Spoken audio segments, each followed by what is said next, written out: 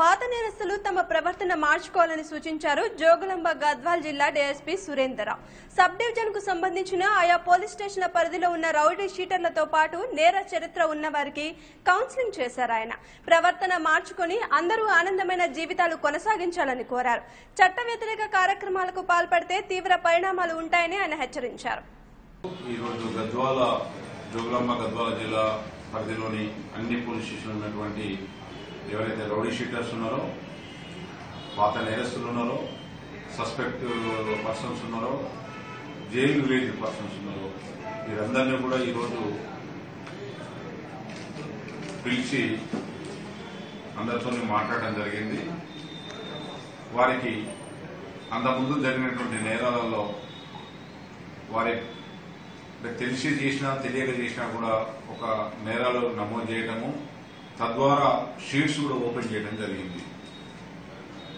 ఇప్పటి నుంచైనా వారు మంచి నడవడిక ఉండాలని చెప్పేసి ఆ నడవడిక ఉండేటందుకు మా వైపు నుంచి ఏమైనా సహాయ సహకారాలు కావాలంటే అవి కూడా ఇస్తామని చెప్పేసి వారికి తెలియజేయడం జరిగింది.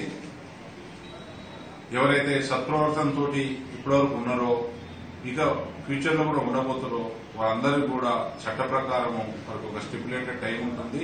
ఆ టైం దాటేంత వరకు కూడా వారి యొక్క సత్ప్రవర్తన సత్ప్రవర్తనని కంటిన్యూ చేస్తే ఆ షీట్లు కూడా పరిశీలించి తీసివేస్తామని చెప్పడం కూడా వారికి భరోసా ఇవ్వడం జరిగింది. వారికి వచ్చిన వారందరూ కూడా మేము పిలవటము వారు రావటము మేము చెప్పినవన్నీ కూడా వారు పూర్తి వినటము మంచిగా అర్థం చేసుకోవటము వారు కూడా సంతోషాన్ని వ్యక్తపరచటము ఏదైతే మేము చెప్పినామో సత్ప్రవర్తన విషయము అవన్నీ కూడా వాళ్ళందరూ కూడా మా- మంచి ప్రవర్తనతో ఉంటామని చెప్పేసి తర్వాత ఈ సమాజంలో మంచి పేరు తెచ్చుకుంటామని చెప్పేసి తద్వారా మేము కూడా గౌరవనీయంగా మిగులుతామని చెప్పేసి మాట ఇవ్వడం జరిగింది. మొత్తము నూట ఇరవై ఆరు మంది ఈరోజు ఈ యొక్క సమావేశానికి రావడం జరిగింది. వివిధ నేరాలు గతంలో తీసుకున్నటువంటి వారందరూ కూడా. మా పోలీసులకు సంబంధించినటువంటి సబ్ ఇన్స్పెక్టర్స్ సిఐలు నేను తర్వాత మా ఎస్పీ గారు కూడా వారికి అందరూ కూడా తోడు కూడా అప్పీల్ చేయడం జరిగింది.